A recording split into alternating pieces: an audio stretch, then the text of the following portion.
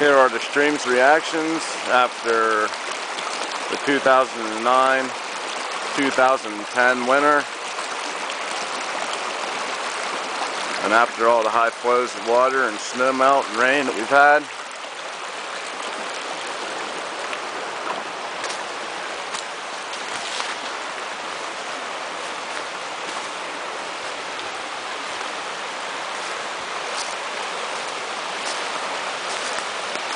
There were numerous uh, sediment pushes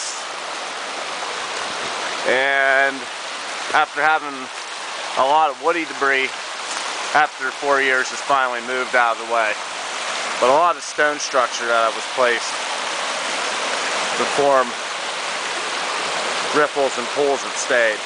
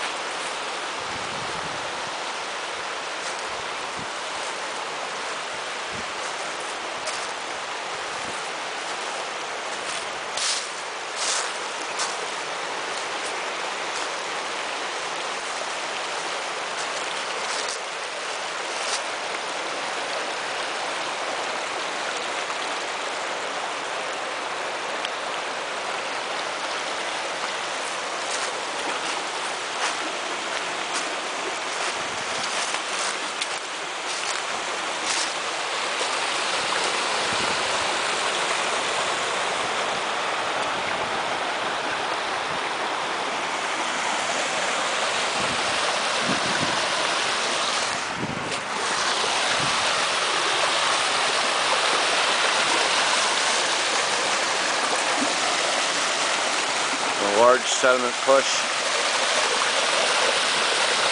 onto this downside slope.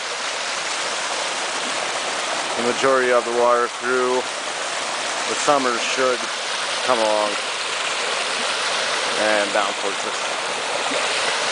So that's the lower end. And you can see where the water's flowing in from this direction. That's the higher end there.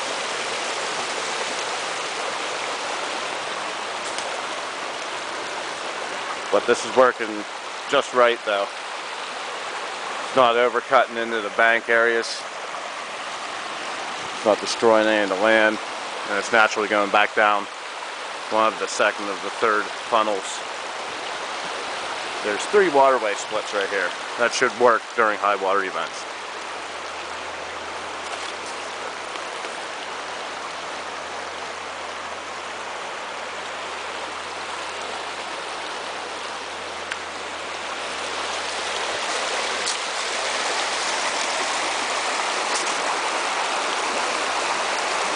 Section that was gorged out has a split right here at its top path.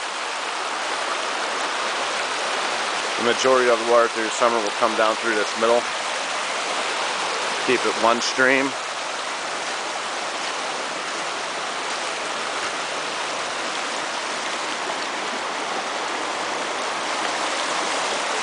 Here's where it breaks off.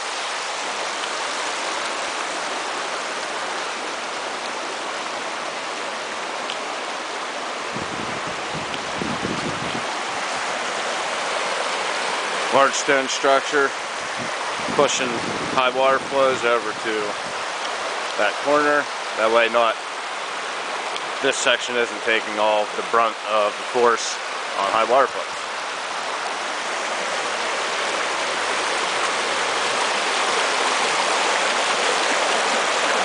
That new gorge. All these nice pool areas.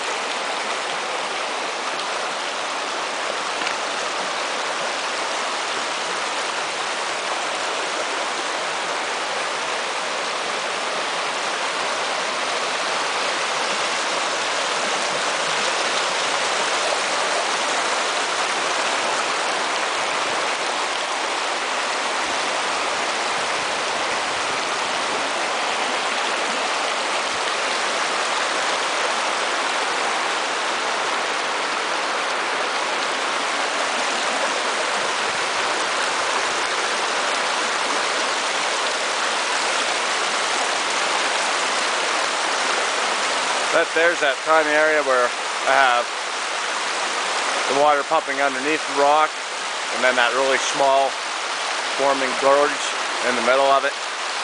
And that's the way all the natural water flow would always go through the winter. So that hasn't changed.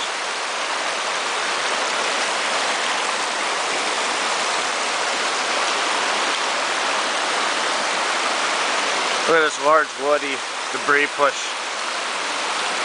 formed right in the most perfect area naturally. All these side shoots here, water is going down here continuously for years. This log structure that formed itself here. It's massive. This is due to all the woody debris that I put upwards. Form these huge pool here.